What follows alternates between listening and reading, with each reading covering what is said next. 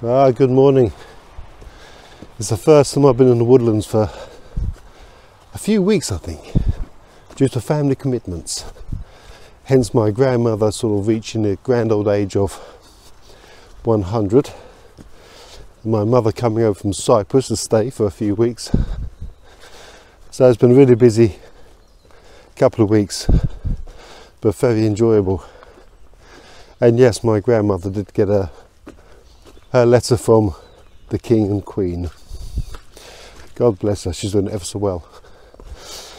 Anyway, I have no idea what I'm going to shoot today. I just wanted to get back into the woodlands. I've missed it so much, I really have. So I've come to, I say it's one of my favourite woodlands. It is one of my favourite woodlands, um, especially in spring because you get all the bluebells and everything else here in, in the in the spring and it is looking quite desolate today. But you know what? There's still lots of colour, lots of greens, lots of browns, lots of reds.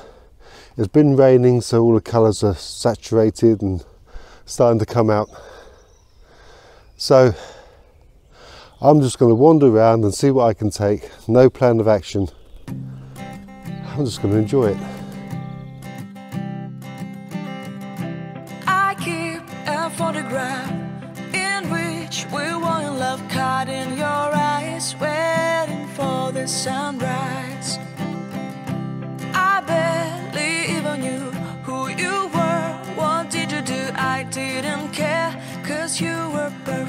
I swear. But somebody told me that it's over. Oh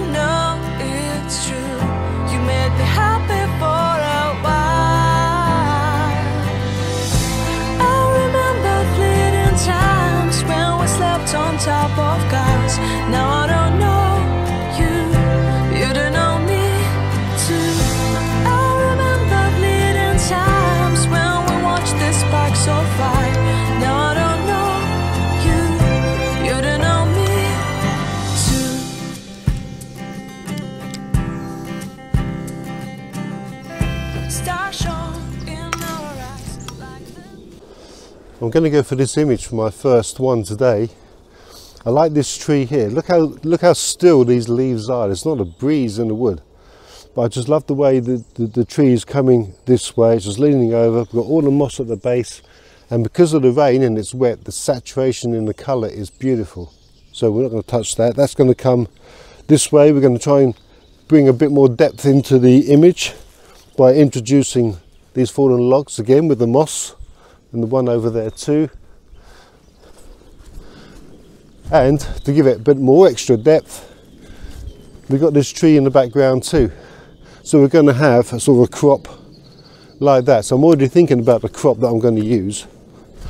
I'm going to use aperture 8 um, because at this distance that should try and soften that out a little bit, not too much. I still want some sharpness because we've got this moss on the logs here. And I think it's going to be really nice. Let's go and do it.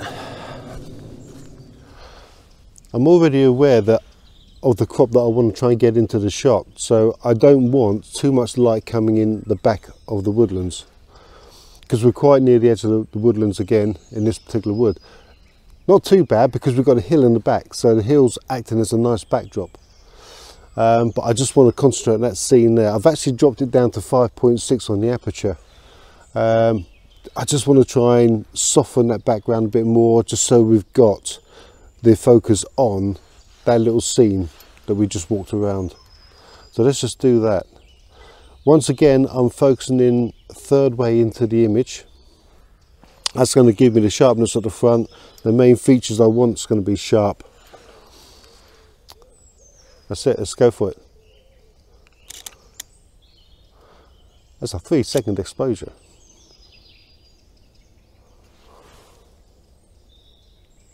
Let's have a look.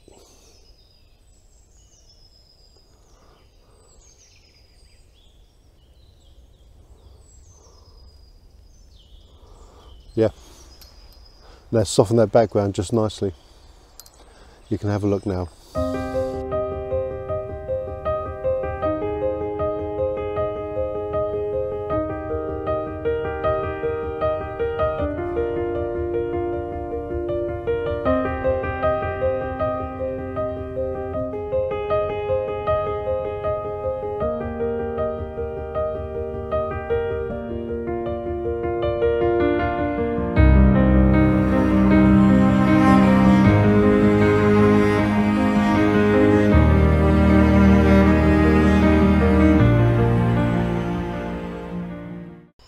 Come across what looks like a bit of a a bit of a woodland graveyard. In this light,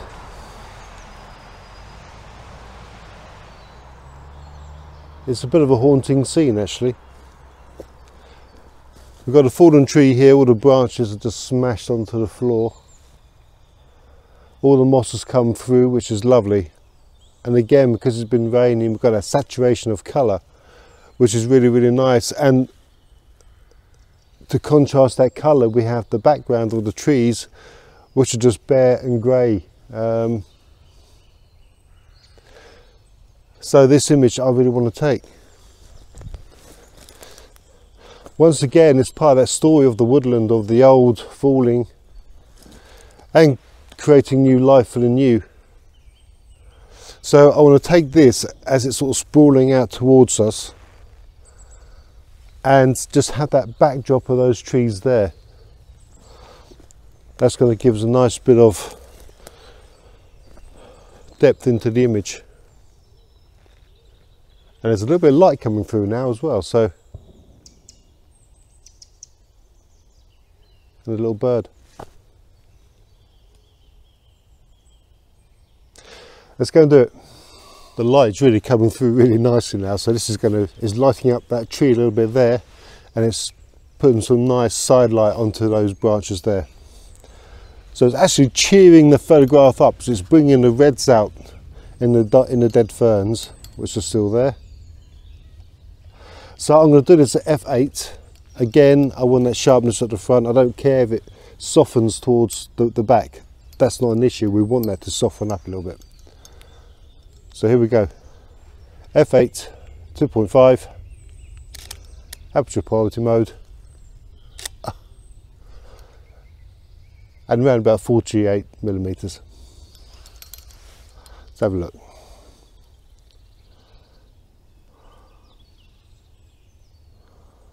Yeah. Does make a difference that light coming through. Gives a bit more of a cheery feel. Yes.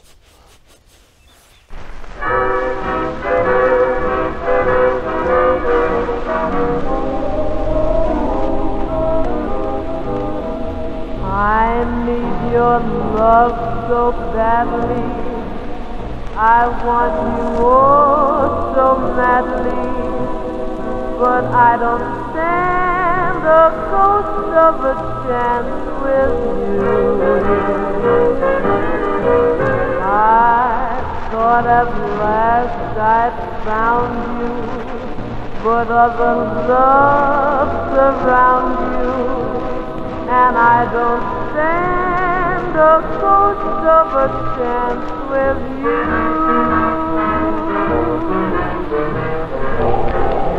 surrender for tender kiss or two. You might discover that I'm the lover. Now it's fair to say, without exaggeration, that in woodland photography in winter, we don't get a lot given to us.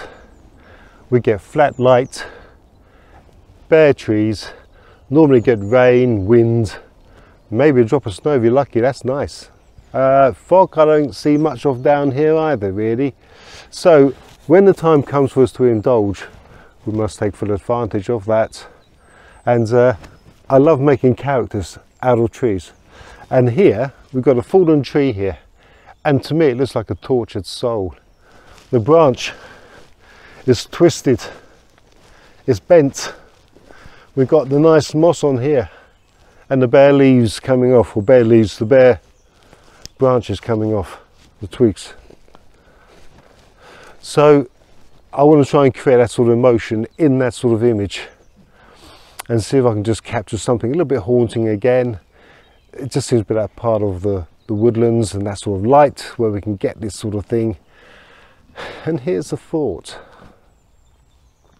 It might, just might be worth trying in black and white. So for this shot I want to get quite close in. I just want those features to be apparent of the twistiness, the bendiness, the light and the shade. It's going to create that image or create that feeling. So I'm just going to come out just a little bit, just get a little bit of space. I'm on F8 on this one. Just take that. Again, focusing third way into the image. We want that sharpness at the front again, maybe a little bit of softness at the back. And I've got these these tree branches coming down here, which again, my fingers, fingers coming down, haunting. I quite like that, and I am going to do that in black and white as well. And I'll put both versions. If the black and white version works, I should put it up as well and show you. I'm just going to go and try another angle. He says bravely, because it's always worth exploring an image. Just to get that other angle on it. I'm not sure that one's. We'll try. We'll try. We'll try. We'll try. I'm a tryer. God loves a tryer.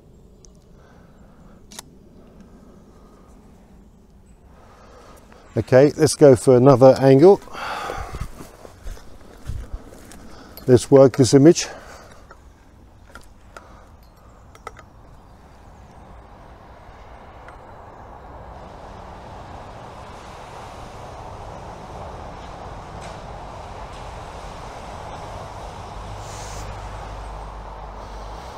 Let's come out a little bit. Unfortunately, I'm close to the road again.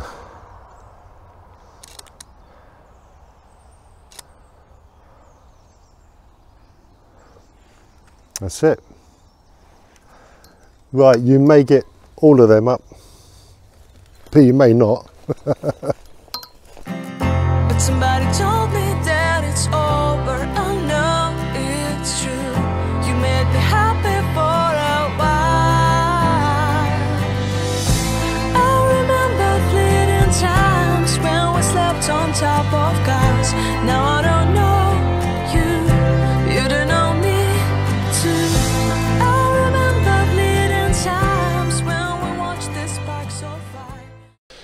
I've got a confession to make. I've left my flask of coffee in the car. But not all's lost, you know. Luckily, I have my chocolate bar. I won't do that again. I just found this nice little intimate scene of the woodlands. And I love these sort of scenes where you get down low and and capture them. We've got this tree trunk here.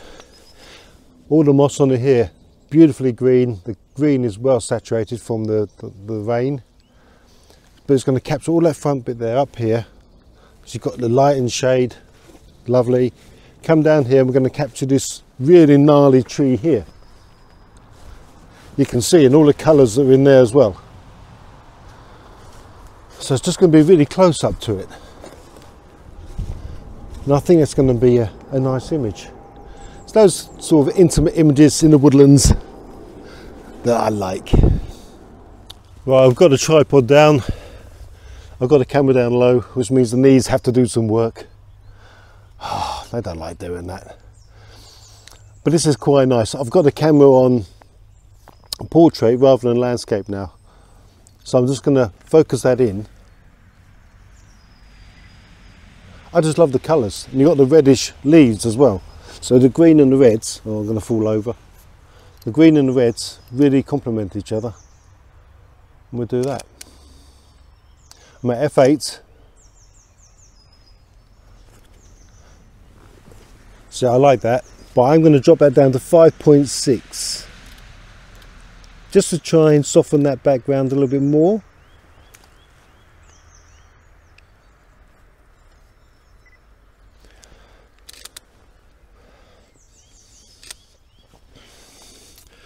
and we're doing.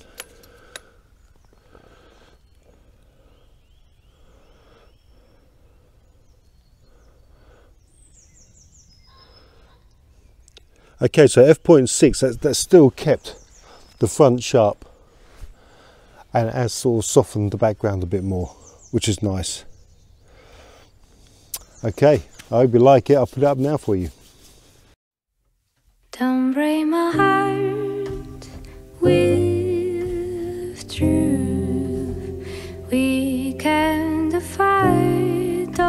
See how it's good?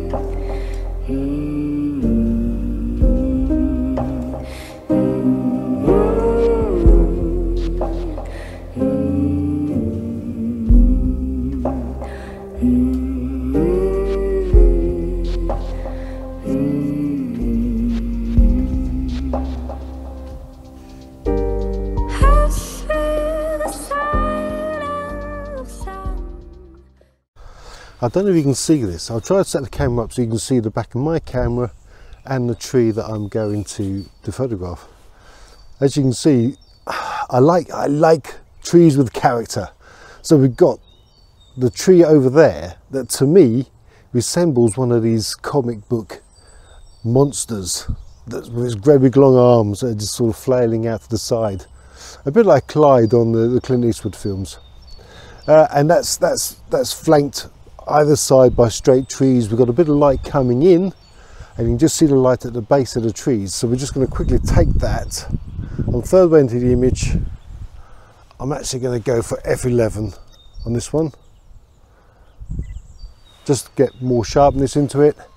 I've got a 70 to 200 lens on. Now I'm currently around about 120 millimeters mark. Let's have a look.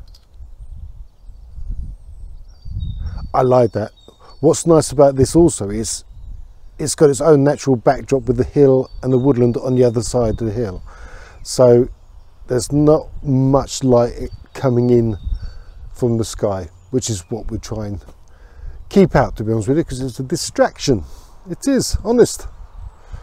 Okay, we'll see how that goes.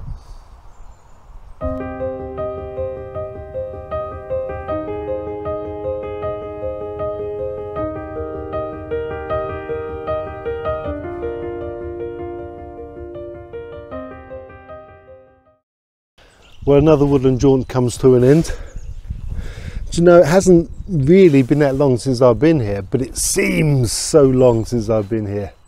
And I've loved being back in the woodlands. I've missed it so much, I really have. Even though disasters happened today and I, I left my flask of coffee in the car, but never mind, I've got the chocolate bar, so that's just fine. But look, I hope the images come out well. I hope you like them. Um, woodland photography in winter is, as I said earlier, a difficult scenario to be in, but still as, as, as enjoyable as ever. But look, if you, if you got this far, thanks for watching and have a good day, have a good weekend, and I'll see you next time. Thanks a lot. Bye bye. Don't break my heart with